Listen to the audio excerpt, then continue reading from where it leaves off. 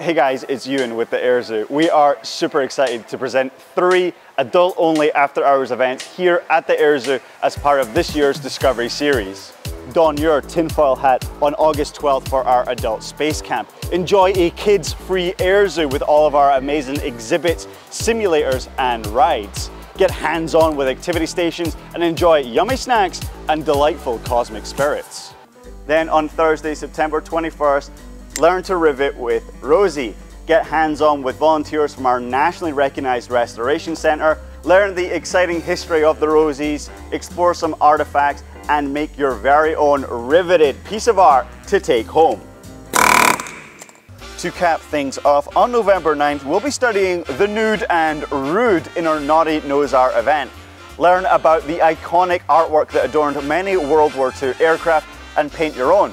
No artistic skill is necessary, and we'll provide all the materials. To get tickets and learn more about this year's Discovery Series events, visit airzoo.org slash Discovery Series.